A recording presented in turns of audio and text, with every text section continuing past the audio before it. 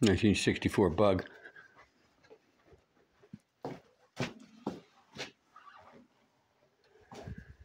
This is before. Actually, it's a little bit after before because I put some adapters on there. Put the center line, you know, my knockoffs on there. And I still got the original wheels and tires. Got a headliner from uh, Cassie County over on Peterson Drive. We want to replace that black.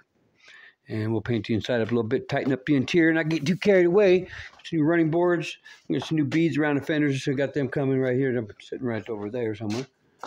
We're gonna do something with the door panels, tighten up the seats a little bit, carpet it up a little bit, tighten up some glass. Rubbers, might be able to get around some doing some weird shit there, and then tighten up the inside, get all the lights working going up for sale. And thinking we probably should have seventy five hundred dollars for this car.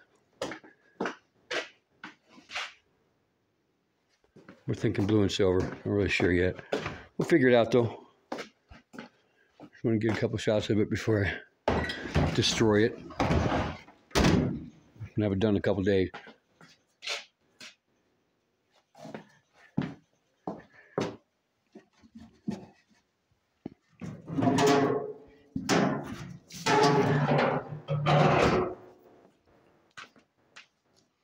All right.